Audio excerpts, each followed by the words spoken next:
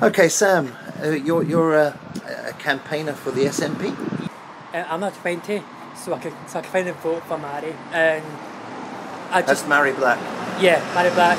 Um, and I feel like um, as she's young myself, she would un- understand a lot of issues that many many politicians won't. Um, and also, she would help break the barrier with her being young, which she, which she, which, which she already has. Even or odd? No idea. Oh really? Yeah, SNP? it's the back of in 2014 when they promised us that. I know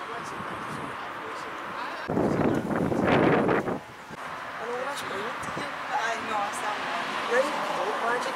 Well, thank you very much for your time. Let's start with that Mhairi Black. What's it like in Westminster? Well, in Westminster, it is.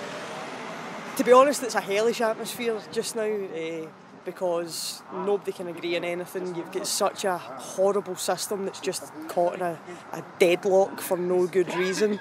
Um, so I'm very glad to be out of there, to tell you the truth, eh, and to be up the road campaigning for six weeks. And then, you know, obviously, Nicola Sturgeon said on Saturday that the uh, independence is heart and centre of this uh, campaign. Yeah.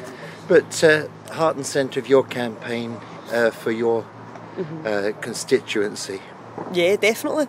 I think because fundamentally independence is at the heart of our party. You know, it's at the heart of everything that we stand for. So what campaigning for us is about is going to people and pointing out, look, the reason that we believe in independence is because all of these things that you think are wrong we're actually capable of changing them if we just had a little bit of belief in ourselves.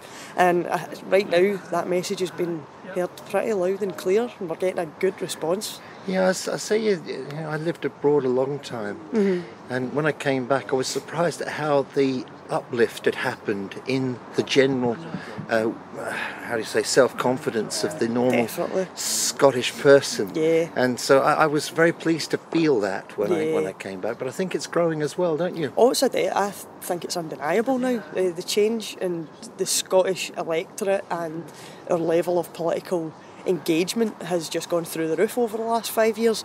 But it's now a challenge of trying to keep that because, of course, it's quite tiring to constantly be having to talk about intense politics with people. But we're living through an intense period just now, and if you care about the price of food, your wages, your rights, then you need to pay attention and you need to get involved. Mm. So we are, we're having a, re- a really good time as best can be the- had. The first the first rule of a government is to Mm-hmm. protect its people.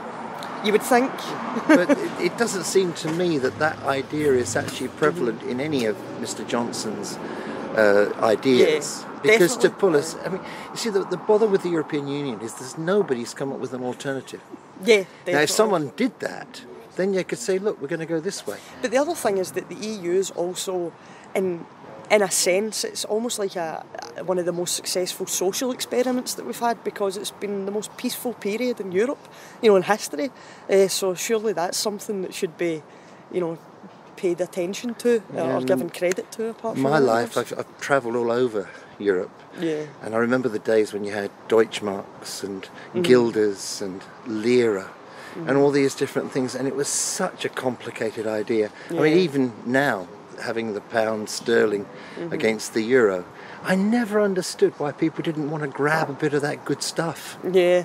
I mean, t- to be honest, I think most folk couldn't care less what the currency is. If it's more matters whether you've got it in your pocket or not. I mean, we've had 23 currencies here since King David Yeah. I, so why not just another one? The, but also, and, and, you know, where I stay, my neighbours, they've never actually left that place. They were born there, they lived there, and they will pass away there. Yeah. And I suppose that's still a part of a, a lot of people in Scotland. They, they do have a, a, a small reference, but then again, people do travel, don't they? Yeah, and, and, oh, and, and. Scots were Yeah. thrown around the, the world because of the clearances and all those things.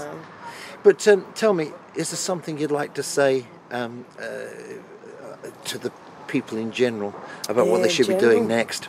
I think if there's one thing you should be doing, it should be voting yes the next referendum. Um, but in order to do that, we have to get to a position where our right to choose is recognised, and I think that's a pretty damning argument uh, against most unionists and one that they can't answer. So I would tell people to try and stay in as engaged as as possible because this is one election that really matters. Um, and above and beyond that, I might be a bit biased, but I would ask them to vote for SNP.